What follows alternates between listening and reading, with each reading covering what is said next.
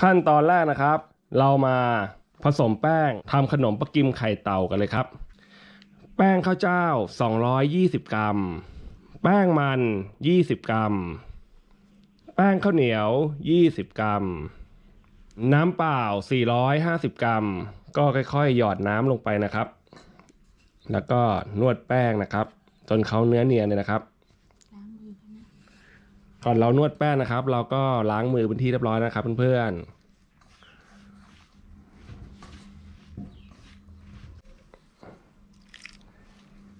ตอนนี้แป้งของเราก็เริ่มจับตัวกันเป็นก้อนนะครับ ก็ให้เรานวดต่อไปเรื่อยๆนะครับทยอยใส่น้ำลงไปนะครับ นวดไปเรื่อยๆ จนเนื้อแป้งเขาเนียนเลยนะครับ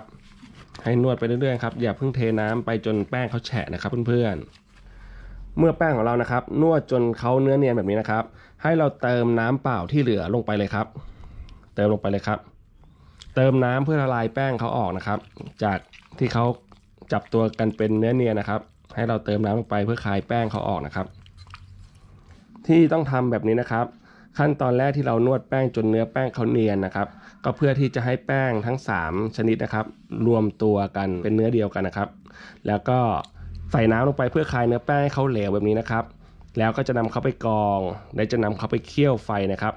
เคี่ยวจนเนื้อแป้งเขาจับตัวกันเป็นก้อนกึ่งสุกกึ่งดิบนะครับเพื่อนๆแล้วถึงจะนำแป้งเข้ามานวดอีกทีหนึ่งนะครับ ที่ทำเช่นนี้ก็เพื่อให้เนื้อขนมปักกิ่งไข่เต่า ไม่จับตัวกันเป็นก้อนนั่นเองนะครับ เวลาเราทำเป็นตัวขนมนะครับเขาจะเป็นเนื้อเนียนสวยนุ่มเลยนะครับ เมื่อเนื้อแป้งของเราเหลวนะครับ ขั้นตอนต่อไป นำเนื้อแป้งขนมปักกิ่งไข่เต่าของเรานะครับ ไปกองเอาเศษกากแป้งออกนะครับ เราก็จะได้เนื้อแป้งที่เนียนนะครับเพื่อนๆ ขั้นตอนต่อไปนะครับ ไปเคี่ยวเนื้อขนมปลากิมไข่เต่ากันเลยครับ ขั้นตอนนี้นะครับ เรามาเคี่ยวเนื้อขนมปลากิมไข่เต่ากันเลยครับถ้าเราเปิดแก๊สไปที่ไฟกลางนะครับ ก็จะกวนแป้งให้เขาสุกระหว่างกึ่งสุก กึ่งดิบนะครับเพื่อนๆ ให้เขาสุกแค่พอประมาณนะครับ ไม่ต้องสุกจนเกินไปนะครับเพื่อนๆ เดี๋ยวเรากวนแป้งกันไปให้เสร็จเลยนะครับ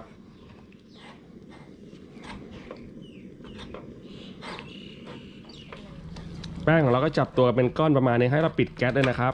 เขาก็จะกึ่งสุกกึ่งดิบนะครับเพื่อนๆ ตอนนี้แป้งเขายังมีความร้อนอยู่นะครับ ให้เราพักแป้งเขาอุ่นๆก่อนนะครับ แล้วก็จะนวดแป้ง ให้เขาเนื้อเนียนยิ่งยิ่งขึ้นไปเลยนะครับเพื่อนๆเดี๋ยวเราพักแป้งก่อนนะครับ แป้งนวลของเรานะครับ ที่ใช้ก็เป็นแป้งข้าวเจ้า และแป้งมันนะครับ อย่างละสองช้อนโต๊ะนะครับพรมลงไปบนแผ่นนวดแป้งนะครับเพื่อนๆแล้วก็นำแป้งปะกิมไข่เต่าของเรานะครับมานวดเลยครับ แล้วก็โรยแป้งนวลลงไปนะครับ บนเนื้อแป้งปะกิมไข่เต่านะครับ แล้วก็ทามือเรานะครับ เวลานวดแป้งจะได้ไม่ติดนะครับ แล้วก็นวดแป้งนะครับ จนเขาเนียนดีนะครับ จนเนื้อเขาเนียนสวยนะครับ แล้วถึงจะแบ่งแป้งออกเป็นสองก้อนนะครับ เดี๋ยวเรานวดแป้งกันไปเรื่อยๆครับเพื่อนๆ เราก็นวดแป้งปลากิมไข่เต่าของเรานะครับ จนเนื้อเนียนนะครับเพื่อนๆขั้นตอนนี้ให้เราแบ่งแป้งออกเป็นสองก้อนเลยครับ เมื่อเราแบ่งแป้งเป็นสองก้อนนะครับ ขั้นตอนนี้ให้เราปั้นเนื้อขนมปลากิมไข่เต่าเลยครับ เดี๋ยวเรามาปั้นเนื้อขนมปลากิมกันก่อนเลยครับเพื่อนๆเอาแป้งออกมานะครับ เป็นก้อนกลมๆนะครับ แล้วก็ให้เราคึงคึงเขาให้ยาวนะครับเพื่อนๆให้เขาแหลมๆตรงปลายนะครับ ยาวพอประมาณนะครับก็จะเป็นลักษณะนี้นะครับปลากิมนะครับ แล้วก็วิธีการปั้นแป้งไข่เต่านะครับ จะมีปลากิมและไข่เต่านะครับ ก็ดึงแป้งออกมานะครับ ปั้นเป็นก้อนกลมๆแล้วก็ครึ่งๆนะครับทำดีลีนิดแล้วก็พอแป้งเป็นกลมๆแล้วนะครับ ให้เรากดทำแป้งเป็นดีลีนะครับ ค่อยๆคลึงเขาให้เป็นวงรีนะครับ นี่คือทรงไข่เต่านะครับ ก็จะไม่กลมนะครับ พอเราปั้นเขาเป็นก้อนกลมๆแล้วก็ให้คึงๆเขาจนเป็นทรงดีลีแบบนี้นะครับ เดี๋ยวเรานวดแป้งกันเลยครับ เราก็ปั้นแป้งขนมปักกิมไข่เต่านะครับ เสร็จเป็นที่เรียบร้อยครับเพื่อนๆขั้นตอนต่อไปเรานำขนมปลากิมไข่เต่าของเราของเรานะครับ ไปต้มกันเลยครับเพื่อนๆขั้นตอนนี้นะครับ เรามาต้มขนมปลากิมไข่เต่ากันเลยครับ เราจะต้มเนื้อขนมปลากิมก่อนนะครับ เราก็จะต้มให้เขาสุกลอยขึ้นมาเลยนะครับ เมื่อเขาลอยขึ้นมาแล้ว เราก็จะต้มเขาต่ออีกประมาณสัก 2-3 นาทีนะครับเพื่อนๆ ตอนนี้เราต้มเนื้อขนมปลากิมของเรานะครับลอยขึ้นมานะครับ ให้เราจับเวลานะครับ ต้มเขาต่ออีก 3 นาทีครับเพื่อนๆ เราก็ต้มครบแล้วนะครับ ให้เราตักเขาไปพักไว้เลยครับ ตักเขามาน็อกน้ำนะครับ ใส่เนื้อขนมปลากิมลงไปในน้ำนะครับน็อกไว้เลยครับ เพื่อให้เขาอยู่ทรงนั่นเองนะครับ แล้วเดี๋ยวเราไปต้มเนื้อขนมไข่เต่ากันเลยครับทำเหมือนเดิมนะครับ เหมือนขั้นตอนการต้มเนื้อขนมปลากิมนะครับ เราจะต้มเขาให้สุกจนลอยขึ้นมานะครับ ก็แล้วเราก็ตักเนื้อขนมไข่เต่านะครับ ไปน็อกน้ำเลยนะครับ เมื่อเรานำขนมปลากิมและไข่เต่าของเรานะครับน็อกน้ำไว้ก็ให้เราตักเขามาใส่ถ้วยได้เลยนะครับเพื่อนๆแล้วไปทำขั้นตอนต่อไปกันเลยครับขั้นตอนนี้นะครับ เรามาเคี่ยวน้ำเชื่อมขนมปลากิมกันครับ น้ำตาลมะพร้าว 250 กรัม หางกะทิ 450 กรัม ให้เราใส่ลงไปนิดเดียวกันนะครับ เพื่อเคี่ยวน้ำตาลมะพร้าวของเราให้ละลายนะครับ ใบเตย1มัด แล้วเราก็เคี่ยวน้ำตาลมะพร้าวของเราให้ละลายนะครับ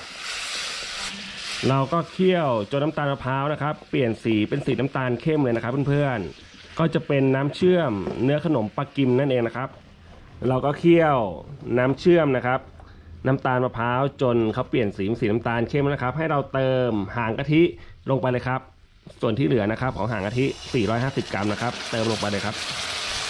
แล้วเราก็เคี่ยวจนหางกะทินะครับ กับน้ำตาลมะพร้าวเข้ากันนะครับ เคี่ยวเขาจนน้ำใสเป็นสีน้ำตาลใสๆเลยนะครับเพื่อนๆเราก็เคี่ยวน้ำกะทิกับน้ำตาลมะพร้าวเข้ากันจนข้นนะครับเพื่อนๆข้นใสพอประมาณนะครับ แล้วก็ให้เราใส่เนื้อขนมปลากิมลงไปเลยครับ ช้อนใบเตยออกนะครับ แล้วเราก็ต้มเนื้อขนมปลากิมอีก 2-3 นาทีนะครับเราก็ต้มเขาเสร็จเป็นที่เรียบร้อยนะครับนำเนื้อขนมปลากิมของเราไปพักไว้เลยครับเพื่อนๆกลิ่นหอมมากเลยนะครับ แล้วก็ทำขั้นตอนน้ำกะทิไข่เต่ากันเลยครับ ขั้นตอนนี้นะครับ มาทำน้ำกะทิไข่เต่ากันเลยครับ หัวกะทิ 500 กรัม ใบเตย1มัด เกลือ1ช้อนชา แล้วเราก็เคี่ยวให้หัวกะทิของเราสุกเลยนะครับ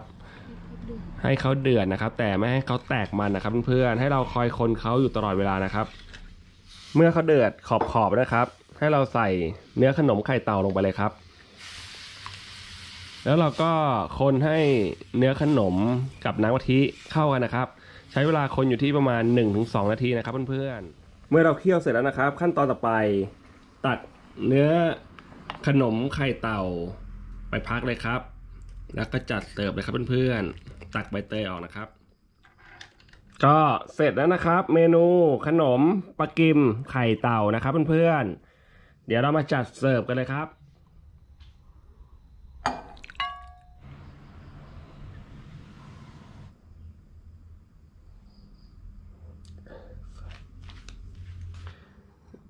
ก็เสร็จแล้วนะครับ เมนูขนมปลากิมไข่เต่านะครับเพื่อนๆสีสันสวยงามน่ารับประทานมากเลยนะครับ เดี๋ยวเรามาชิมขนมปลากิมไข่เต่าของเรากันเลยครับเพื่อนๆหืสีสันหน้าตาน่ารับประทานมากเลยนะครับ หอมเลยนะครับ ตอนนี้เขากำลังร้อนๆนะครับ เป่าก่อนนะครับ อื้อหื อร่อยกลมกล่อมนะครับ ได้ความหวานและความมันนะครับ ความหวานของเนื้อปลากิมนะครับ ที่อยู่ในน้ำเชื่อมนะครับ ส่วนได้ความมันของเนื้อไข่เต่านะครับ ที่อยู่ในน้ำกะทินะครับ พอสองอย่างนี้มารวมกันนะครับทำให้เกิดรสชาติที่กลมกล่อมมากเลยครับเพื่อนๆ และเนื้อแป้งก็นุ่ม